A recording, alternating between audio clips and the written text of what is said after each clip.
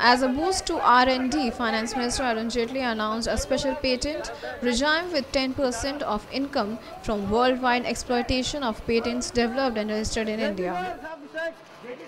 I propose a special patent regime with 10% tax on income from worldwide exploitation of patents developed and registered in India.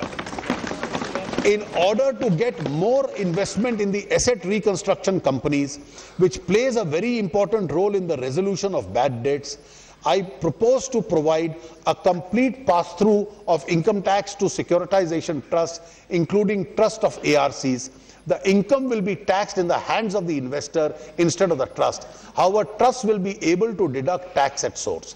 The period for getting long-term capital gain regime in the case of unlisted companies is proposed to be reduced from three to two years.